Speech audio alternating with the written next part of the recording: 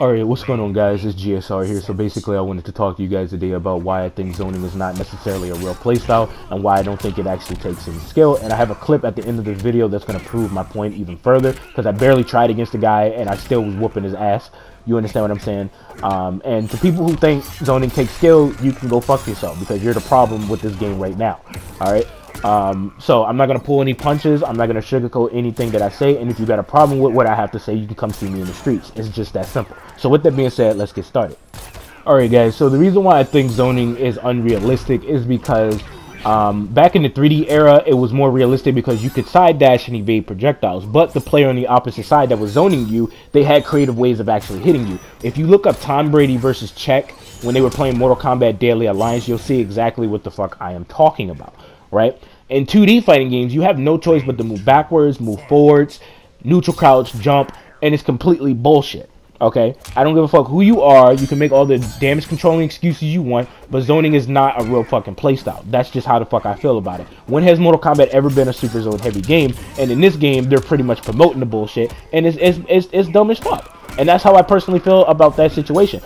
I remember when Injustice 2 came out, man, I was hyped up for that game because I thought that game was going to be just as good as Injustice 1 because Injustice 1 didn't really have crazy amounts of zoning. I think Zod was one of the heaviest zoners in the game, I think, followed up by like Lex Luthor, I think.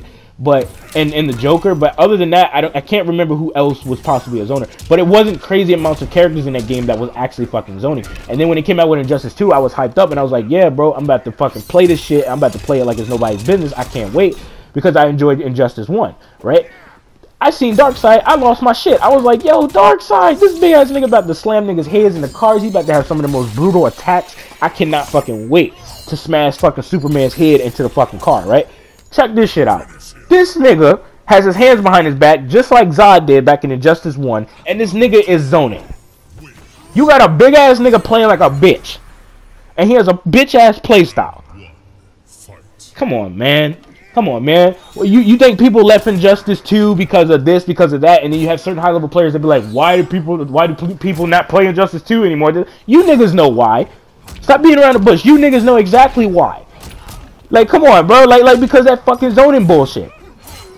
Come on, man. And, that, and that's the reason why I said that it doesn't make sense why you gave uh, uh, um, people this defensive option to where they can actually roll forwards. And on top of that, all you have to do is make it into a mechanic like you did with uh, uh, uh, Injustice 2, to where you can roll in on fucking zoners and create that mind game to where they're not able just to simply just abuse this bullshit all the fucking time. And this can help out characters like Jax. This can help out characters like uh, uh, Jacqui Briggs, even though I fucking hate that bitch. And this can help out certain characters that are not necessarily zone heavy type of characters. This is how I would bounce out the defensive options, but not only the defensive options, the zoning in the game. And this will create a really good mind game because if I make the correct read, I can spin a defensive bar and you're going to get your shit pushed back. It's just that simple. That's how you fix two major issues in this game. It's very simple shit. You know what I'm saying? And it's just it's just dumb as hell how they make this game. And like I said, when has Mortal Kombat ever been a Super Zone heavy game? I, go ahead, I'll wait. I'll wait. I literally wait. Back when uh, uh, when I was playing Ultimate Mortal Kombat 3 and, and, Mortal Kombat 1, 2, those games wasn't necessarily super zone heavy. They were enjoyable because you can actually fight somebody in that fucking game. Even Mortal Kombat 9 was a prime example of that. That game was amazing. That's one of my favorite MKs, followed up by Ultimate Mortal Kombat 3. Hell, even fucking Mortal Kombat Armageddon, Deadly Alliance, Deception. Nigga, I can name all the Mortal Kombats that I played. Because I played every last NRS game they've had. Like, come on, bro. Like, stop being around the bush. And then you play this bullshit and it's unrealistic and shit, bro. You have no choice but to move forwards and shit. And, and just keep getting uh, hit with chip damage and shit. It's, it's bullshit. And then you you know you got people like 16-bit Dick Ryan zoning because he, he's a fan of zoning because he be getting his ass whooped by players who know how to actually play the fucking game. And that's why he frowns upon uh, characters who, who, who have uh, really good pressure and shit like that, bro. Alright guys, so I may not be, you know, the best player in the world or one of the best in the world. But at the end of the day, I don't really give a shit about that shit. That's nothing but bragging rights. And I'm not going to spend all my time playing a fucking video game when I got shit in my personal life I have to take care of. But here's the thing, right? Even though I have experience under my belt, okay, and I may not be the best player in the world, I know bullshit when I see it and when I hear it. This shit right here is bullshit. This is not a fighting game at this point. This is a fucking third person shooter game. Whether you want to believe it or not, I am bored at this point because I'm barely trying against a guy and I'm bored. I'm super fucking bored. I'm just sitting here like, yo, this shit is annoying. Now, after this match, he did beat me. You know what I'm saying? Um, and he ended up killing my character, right? So I skipped it to the part where I just decided to pick Johnny Cage, right? And I picked Johnny Cage's outtake variation, and I decided to actually try hard against him, right? And when I did that, let's just say the shit didn't go well. So I gave him a taste of his own fucking medicine, just to show him how it actually feels to get zoned the fuck out, right? And it's completely brain dead, just like characters who have access to 50-50s in this game. So, like I said, man, I may not be the best player in the world, or I may not be one of the best players in the world, but I know bullshit when I see it and when I hear it. So, you know, it is what it is at the end of the day. I just wanted to talk about this real quick because I'm tired of people talking about zoning take skill when that's a complete bullface ass lie. I don't even train the zone. And I just, and I zoned him the fuck out. I literally zoned him the fuck out. You guys are going to see exactly what I'm talking about. But like I said, I don't know how you guys personally feel about zoning, but I do believe if they take that wake up mechanic where you can roll forwards and make it into like a standing up mechanic like they did back in uh, Injustice 2, to where you can get in on zoners and shit, to where you can whiff punish them and shit for doing what they just did, that would balance this out a lot more and make it a little bit more tolerable, right? It's still going to be annoying, but at least you will have a chance to actually get in on the opponent if they change the wake up option like this because this will not only balance out the wake up options but this will also balance out the zoning to a certain degree to where you have a chance of actually getting in on the opponent. You understand what i'm saying? And this is exactly what the fuck i would do my niggas. So with that being said i'm gonna let you guys enjoy the rest of this uh, fight or whatnot.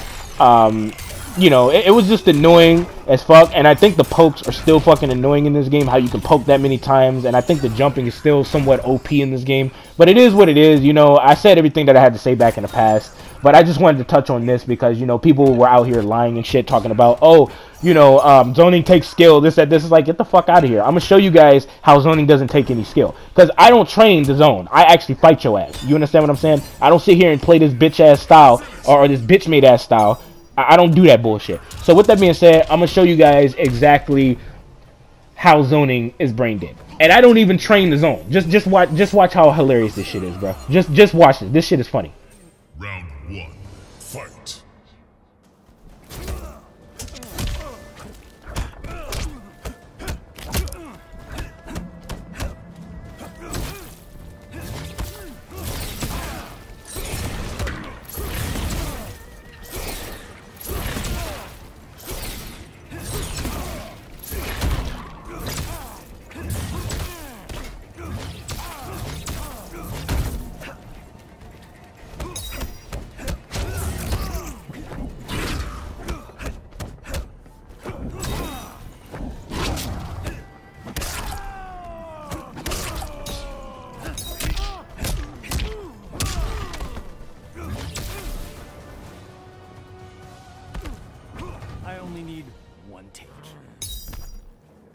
Round two, fight!